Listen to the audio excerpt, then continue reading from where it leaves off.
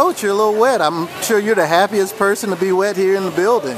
Congratulations. Talk about winning the Ivy title Thanks. in your home pool. Thanks. Well, first of all, we haven't won the Ivy title here since 1992. So it's been 20 years.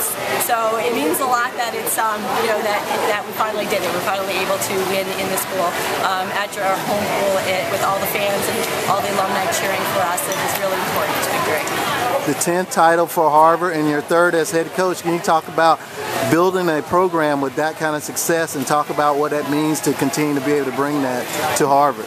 Well, you know, it gets more difficult to win every year. I mean, Princeton will probably tell you too, because the rest of the league has so many good swimmers. And so we're seeing so much more depth throughout the entire league. And our rivalry with Princeton is, uh, it's a really good one. I mean, it, it's, you know, we've gone back and forth for a number of years, and a lot of times these meets come down to, you know, within 100 points. If we score 1,500 in a meet on average with um, scoring up to 24 places, you know, 100 points is nothing. It just means we go either way. So this meet is always just so much fun, and there's so many breakout swims. Um, you know, Columbia's 59 in the 100 breaststroke was amazing to watch yesterday, and all so many good swims and dives that it just makes the entire atmosphere really enjoyable.